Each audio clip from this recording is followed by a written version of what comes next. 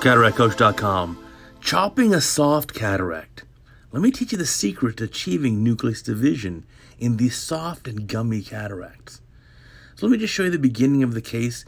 This is interesting because we're making two phaco incisions. This is paired incisions on the steep axis for treatment of against the rule astigmatism.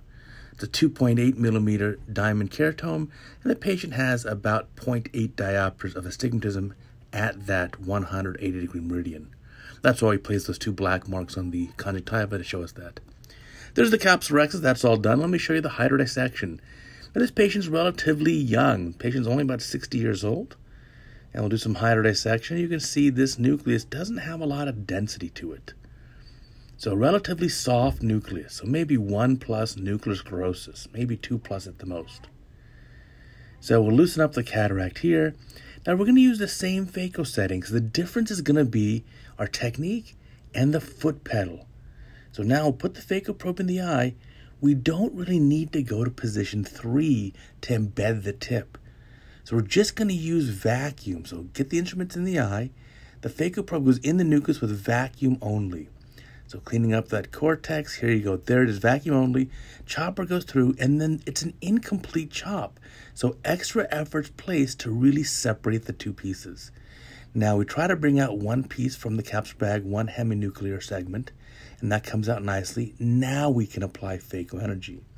So remember, when it's a soft nucleus like this, don't just buzz into it with the ultrasound energy, because doing that will allow the phaco tip to go right through the nucleus. We're just going to push into the pieces using vacuum only and then physically push the tip into the nucleus to bury it. When you hear the pitch rise on your vacuum, that's when you bring the pieces up in the anterior chamber or at the iris plane.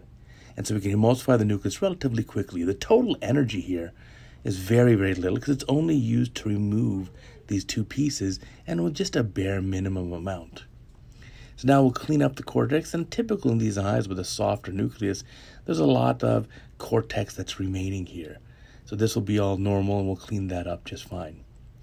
So again, if you have patients who have softer lenses, softer nuclei, you want to be careful not to buzz through it with the phaco probe.